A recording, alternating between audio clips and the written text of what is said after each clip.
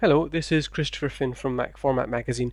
I woke up this morning to find a really odd little display glitch in my iPhone 4 that I want to show you.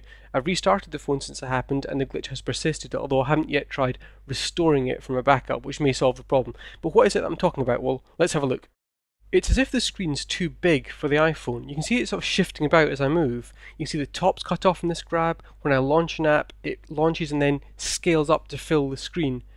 Come back out of the app and you'll see the home screen push out like that from the beginning. It doesn't really matter which app it is. Here's the iPhone, uh, the iPod app, which does the same thing. Come back to the home screen, and again that thing where it sort of zooms in. It's not actually rescaling as far as I can tell. It's just relaying out. Look at it a bit closer, and you can see it really happening. Obviously, if we come back out to the home screen, I can sort of begin to scroll around a little bit by tapping and holding in some ways. And this happens in apps as well. Here I am moving that whole screen around. It's a really odd effect and we don't know why it's happening. If you've got any ideas or there's any experiments you'd like us to try, then drop us a line in the comments and we'll see what we can do.